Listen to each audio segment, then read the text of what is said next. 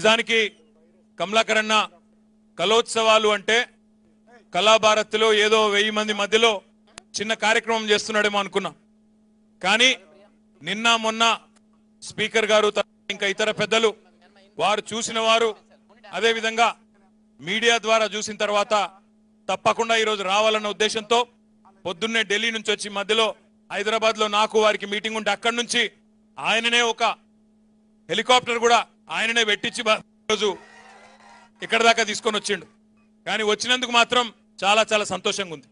ఎందుకంటే చాలా మంది ఇందులో కళాకారులు మిత్రులు మా మిట్టపల్లి సురేందర్ గాని వందే మాత్రం సీనన్న గాని అదేవిధంగా ఇతర మిత్రులు చాలా మందిని చాలా రోజుల తర్వాత కలుసుకునే అవకాశం దొరికింది. అందులో ఇంకా కొంతమందిని అయితే మొట్టమొదటిసారి కలిసిన. ఆ గంగమ్మ తల్లి ఎక్కడుందో గాని ఎక్కడున్నావు అమ్మా? గంగమ్మను కూడా అక్కడ ఇక్కడ సోషల్ మీడియాలో చూసింది తప్ప నిజంగా కలిసింది లేదు. సరే ఆమె మంచిది కాబట్టి ఏదో అట్లా మహేష్ బాబు అన్నది కానీ మహేష్ బాబు ఫీల్ అవుతాడు. నాకేం కాదు నాకేం కాదు కానీ మహేష్ బాబు ఫీల్ అవుతాడు. గంగమ్మ నువ్వు కళ్ళు చూపెట్టుకోవాలి జల్దీ. ఇక్కడ రా ఇక్కడ రా. ఓ నువ్వేమనకి ఇక నువ్వేమనకి నువ్వు మాట్లాడతావు అలా? నేను మాట నువ్వు మాట్లాడితే నేను మాట్లాడలేను కానీ ఇప్పుడే గంగమ్మకు మాట ఇచ్చిన మై విలేజ్ షోకి తప్పకుండా తొందరలో వస్తా. నీతో నువ్వు నీ షో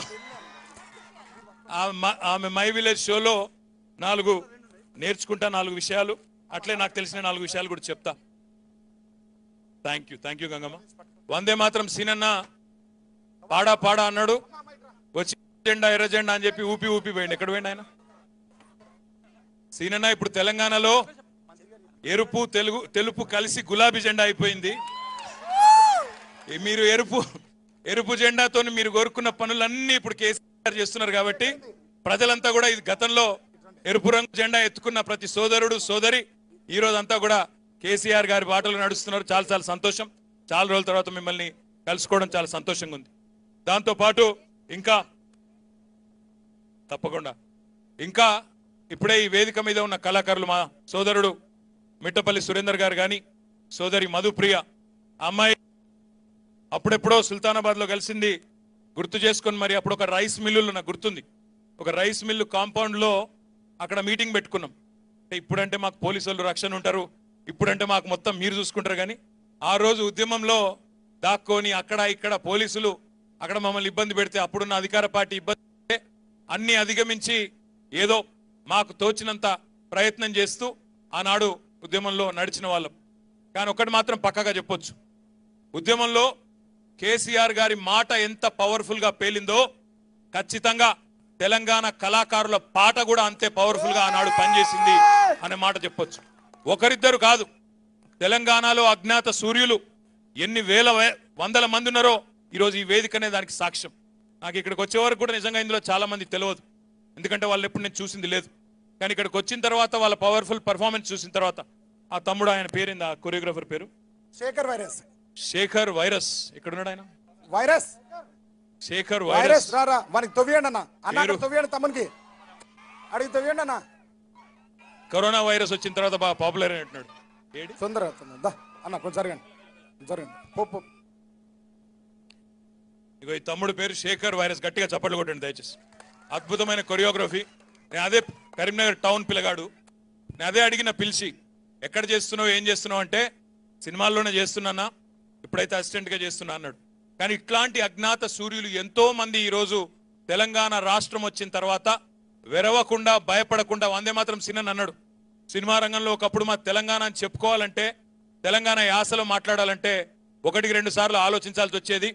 కానీ ఈరోజు తెలంగాణ రాష్ట్రం వచ్చిన తర్వాత తెలంగాణ భాషలో మాట్లాడితేనే సినిమాలు హిట్ అవుతున్నాయన్న మాట కూడా మీ అందరికి కూడా తెలుసు. మా శివారెడ్డి ఈరోజు ఎంత పాపులర్ అయిండో అదే విధంగా ఇంకా మిగతా కళాకారులు ఎంత పాపులర్ అయినారో అందరి గురించి అందరికీ తెలుసు. నేను మీ అందరికీ చేసే విజ్ఞప్తుల్లో ఒకటే. ఇట్లాంటి కళాకారులను ఈరోజు ఒక గంగుల కమలాకర్ గారు మాత్రమే ప్రోత్సహించడం కాదు. మన రాష్ట్ర ప్రభుత్వం కూడా మన గౌరవ రసమై బాలకృష్ణ గారి ఆధ్వర్యంలో తెలంగాణ సాంస్కృతిక సారథిని ఏర్పాటు చేసి ఆనాడు ఉద్యమంలో పాల్గొన్న ఐదు వందల డెబ్బై నాలుగు మంది ఆనాడు కళాకారులందరికీ కూడా ప్రభుత్వ ఉద్యోగాలు ఇచ్చి పే స్కేల్ ఇచ్చి గౌరవించింది తెలంగాణ ప్రభుత్వం. కానీ ఐదు వందల డెబ్బై నాలుగు మంది మాత్రమే కాదు ఇంకా వందల మంది కళాకారులు ఉద్యోగాలు రాని వాళ్ళు ఉన్నారు ఎంతో మంది టాలెంట్ ఉన్న వాళ్ళు ఉన్నారు.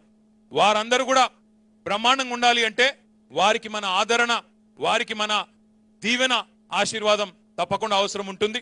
మరి ఈరోజు కరీంనగర్ కలోత్సవాల స్ఫూర్తితో నేను తప్పకుండా కమలాకర్ గారిని మళ్ళొకసారి మనస్ఫూర్తిగా అభినందిస్తూ కరీంనగర్ కలోత్సవాల స్ఫూర్తితో తప్పకుండా మిగతా అన్ని జిల్లాల్లో అదే విధంగా మన రాజధాని హైదరాబాద్లో కూడా తప్పకుండా తెలంగాణ వైభవాన్ని తెలంగాణ కళాకారుల గొప్పతనాన్ని చెప్పే విధంగా ఉత్సవాలు ప్రతి ఏటా బ్రహ్మాండంగా జరుపుకుందామనే మాట కూడా మీ అందరికీ విజ్ఞప్తి చేస్తూ మరి మీరు అందరు వచ్చింది కళాకారులను చూడడానికి తప్ప మా మాటలు మా స్పీచ్లు వినడానికి కాదు నాకు తెలుసు.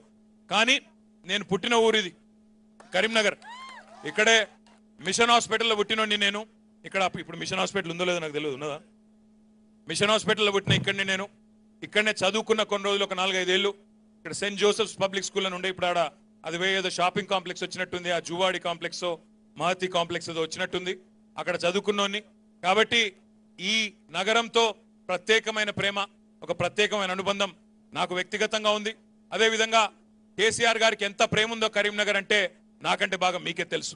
ఎందుకంటే ఆనాడు పార్లమెంట్ సభ్యుడిగా ఇక్కడి నుంచే ఆయన ఆనాడు మీ ఆశీర్వాదంతో పార్లమెంట్లో అడుగుపెట్టి తెలంగాణ వాదాన్ని తెలంగాణ వాణిని గట్టిగా వినిపించిన ఆ తర్వాత మళ్ళీ ఆమరణ దీక్షకు ఆనాడు పూనుకున్న ఇదే కరీంనగర్ ఆశీర్వాదం వల్లనే ఈరోజు తెలంగాణ సాకారమైందనే మాట కూడా మళ్ళొకసారి మీకు హృదయపూర్వకంగా విజ్ఞప్తి చేస్తూ ఈ కళాకారులందరికీ నేను ఎవరెవరి పేర్లు అయితే చెప్పలేదో వాళ్ళు ఎవరు కూడా దయచేసి తిట్టుకోవద్దని కోరుతూ ఎందుకంటే నాకు చాలా మంది మొదటిసారి కలుస్తా ఉన్నా చాలా అద్భుతమైన పర్ఫార్మెన్స్ ఇచ్చిన కళాకారులు. నిజంగా నేను అబ్బురపడతా ఉన్నా చూసి అక్కడ కూర్చొని ఇంత టాలెంట్ కళాకారులు మన తెలంగాణలో ఇంతమంది ఉన్నారా అనే ఒక అద్భుతమైన ఫీలింగ్ వచ్చింది. రోజారామ్ని గారికి కూడా హృదయపూర్వకంగా ధన్యవాదాలు. వారు కూడా ఈ కార్యక్రమంలో పాలు పంచుకొని ఇంత మరి ఇంత- ఇంతమంది ఆర్గనైజర్స్తో పాటు వారు కూడా కష్టపడ్డందుకు వారికి ధన్యవాదాలు. ఇంకా ఈ రోజు ఈ కార్యక్రమం విజయవంతం కావడానికి ఈ మూడే మూడు రోజుల కార్యక్రమం విజయవంతం కావడానికి కమలాకర్ గారి వెనక నిలబడ్డ సైన్యం అజ్ఞాత సూర్యులు చాలా మంది ఉంటారు. ఎందుకంటే ఒక వ్యక్తితోనో కొంతమందితోనో కాదు ఇంత ఇంత పెద్ద ప్రోగ్రాం. కాబట్టి వారందరికీ కూడా వాలంటీర్స్గా పనిచేసిన వారికి కమలాకర్ గారికి అండా దండగా నిలబడ్డ ప్రతి ఒక్కరికి కళాకారులు ఇక్కడికి రావడానికి కృషి చేసిన మా సురేందర్ అన్నకి ఇంకా ఇతర మా చెల్లెళ్ళందరికీ రాజేష్ అన్నకి ఇంకా మిగతా అన్నలందరికీ వేదిక మీద ఉన్న వారందరికీ పేరు పేరున వేదిక ముందున్న వారికి మరి మీ అందరికి కూడా హృదయపూర్వకమైన అభివృద్ధి తెలియజేస్తూ తెలుగు సినిమాలు ఈ మధ్యన పాన్ ఇండియా పోతున్నాయి. తెలుగు సినిమా తీస్తే ఈరోజు భారతదేశం అంతా ఆడుతుంది. కరెక్టేనా? కరెక్టేనా కాదా? తెలుగు సినిమాలు దేశం మొత్తం భారతదేశం మొత్తం దుమ్ము దుమ్ము లేపుతున్నాయి అంతేనా?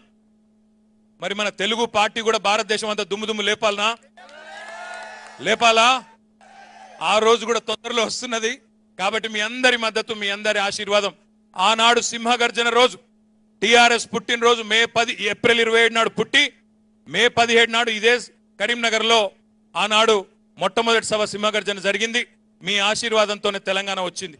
మరి ఇదే కరీంనగర్లో ఈరోజు కేసీఆర్ గారు తీసుకున్న నిర్ణయం రేపటి సంచలనం ఏదైతే ఉందో మీ అందరి ఆశీర్వాదంతో ఇండియా మొత్తం దుమ్మురేగాలని మనస్ఫూర్తిగా కోరుకుంటూ ఈ అవకాశం ఇచ్చిన మీ అందరికీ మళ్ళొకసారి ధన్యవాదాలు. జై తెలంగాణ.